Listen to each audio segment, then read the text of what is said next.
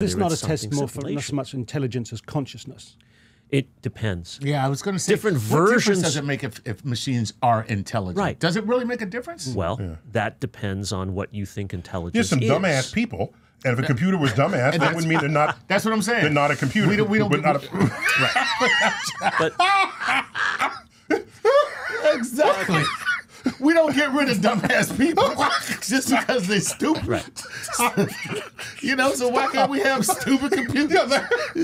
and by the way, we do have smartphones and dumb phones. Like we're moving in that direction anyway. But this is our own bias against what is intelligent and what is not, right? Okay. When we judge a, point. person to be mm. stupid, that person's still very intelligent. There's intelligence that person can adapt, that person is likely conscious, that person is likely able to figure out puzzles and so forth. True. But we claim that they're stupid because somehow they didn't get a joke that we told or that we they couldn't solve a math problem and things like that. says the comedian. Yeah, hit it on the head.